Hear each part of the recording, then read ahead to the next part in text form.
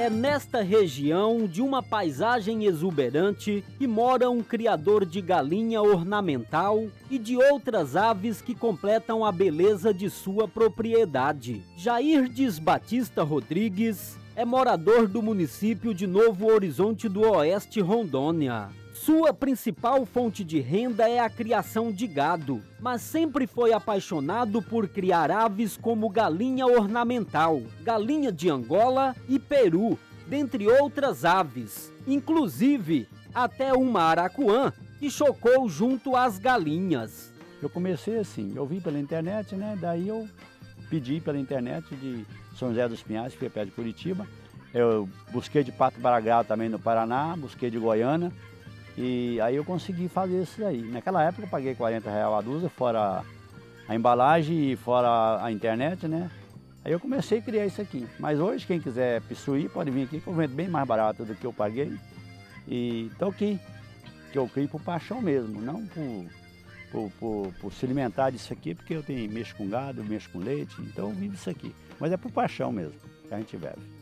De longe parece galinha comum, mas não se engane, são bem diferentes. São galinhas de diversas raças, de origem europeia, polonesa e chinesa. A brama europeia, búfalo, light, azulão, taik e várias outras, inclusive a índio gigante, de origem brasileira, e foi desenvolvida a partir da seleção de galinhas rústicas a caipira brasileira. Para a seleção da raça, o trabalho com as aves é diário. Porque daí se você deixar misturado, bagunça. Então o carijó, o amarelo, isso, aquilo outro, branco, né?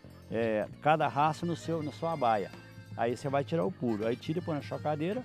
Depois do dia que você criar, mas você solta tudo, pronto. Aí o trabalho é esse. São mais de mil aves em sua propriedade e tem até paturi, resultado de cruzamento de marreco com pato de casa. A propriedade de seu Jairdes é mesmo encantadora. Da criação de galinha de Angola, ganso, a galinha da raça brama de várias cores, polonesa também de várias cores, da raça índio gigante, dentre outras, se torna este lugar um verdadeiro paraíso.